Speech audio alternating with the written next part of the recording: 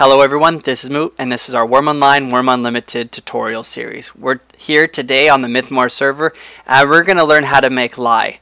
Lye's use it uh, to uh, combine with hides to create leather for leather working and also you combine it with mortar to create concrete so you can move or edit your rock tiles such as in your cave mine.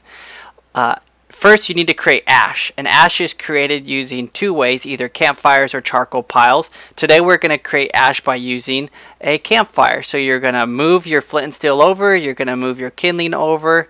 Uh, alternatively, you can activate your flint and steel, right click on your uh, right click on your kindling and create a campfire.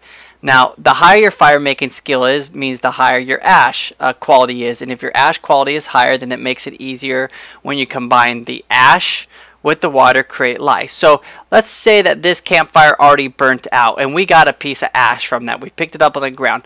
Well, I want to create lye. It's pretty simple. You're just going to either uh, double click and activate the ash, right click the water and create lye or you can move it into the crafting window, both of them, the water and the ash, and there's your lye.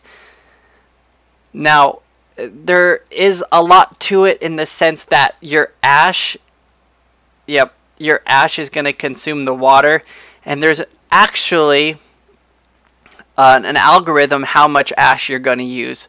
So for example, if I wanted to go to the Wurmpedia here and want to create, I want to type in lye. Lye is going to tell me that there's a ratio of 1 kilogram of water to 0.10 kilograms of ash.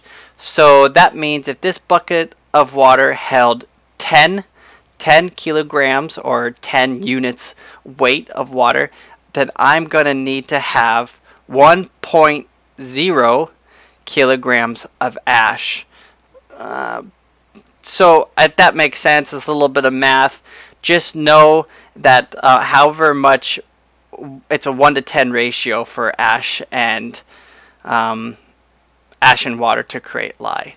That's pretty simple, right? I mean, you just put the ash and you mix the water and that creates lye. Thanks for watching.